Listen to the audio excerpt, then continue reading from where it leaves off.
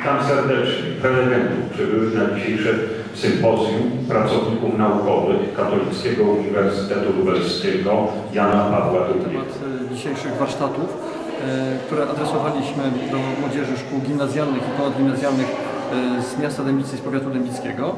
Te warsztaty dotyczyły obecności młodych ludzi w świecie wirtualnym, czyli w internecie. Jak młodzi ludzie korzystają z różnego rodzaju narzędzi internetowych, z portali społecznościowych, z różnego rodzaju e, komunikatorów. Natomiast e, po południu konferencja Nowe Media, szansa czy zagrożenie dla współczesnej rodziny, podczas której wykładowcy Katolickiego Uniwersytetu Lubelskiego Jana Pawła II w Lublinie e, będą nie tylko e, przedstawią diagnozę problemu, e, czyli skali zagrożeń nałogów związanych chociażby e, niewłaściwym wykorzystywaniem właśnie tych nowoczesnych narzędzi komunikacji, e, ale także e, przekażą pedagogom, wychowawcom, nauczycielom e, receptę, jak właściwie kierować proces wychowawczy, aby to wychowanie właśnie w świecie wirtualnym, medialnym przynosiło efekt i aby młodzi ludzie spędzali czas w internecie w sposób należyty. Tegorocznej konferencji są Katolicki Uniwersytet Lubelski, Zgromadzenie Sióstr Urzędniczych Dębickich, Powiat Dębicki, Miasto Dębica, Katolickie Centrum Edukacji Kana w Dębicy i Stowarzyszenie imienia Edmunda Bojanowskiego Dobroć. Zanim naszych bliskich nie dotyczy. Ale czy to prawda? A co z małymi dziećmi? Wyglądałby ich rozwój, gdybyśmy pozwolili im bezkarnie i bez ograniczeń korzystać z tego źródła informacji i rozrywki, z tych nowych mediów?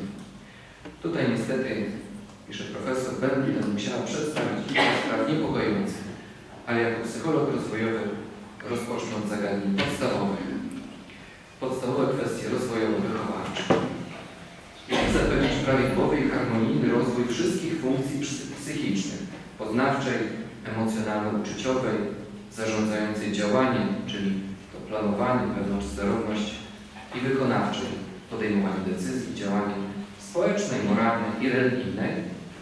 Jak stymulować rozwój dziecka, aby nie nastąpiła dysharmonia rozwoju psychiki dziecka, jakieś opóźnienie lub niewykształcenie się funkcji któreś, co utrudni dziecku realizację typowych dla jego wieku zadań. Dziecko zaczęło popadać w historyczny płacz.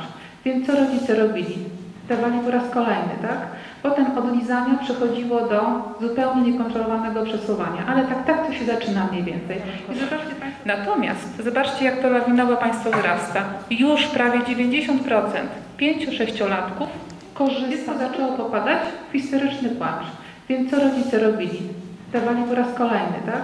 Potem od lizania przechodziło do zupełnie niekontrolowanego przesuwania. Ale tak, tak to się zaczyna mniej więcej. I zobaczcie Państwo po raz kolejny, ja w tym miejscu na to zwrócę uwagę, zaczyna się od nas osób dorosłych. Ktoś da tablet, ktoś pokaże, ktoś przyzwoli na to.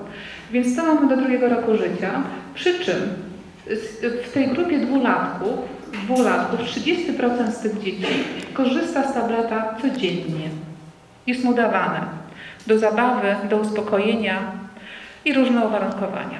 Natomiast zobaczcie, jak to lawinowo państwo wzrasta. Już prawie 90% 5-6-latków korzysta nie tylko z tabletu,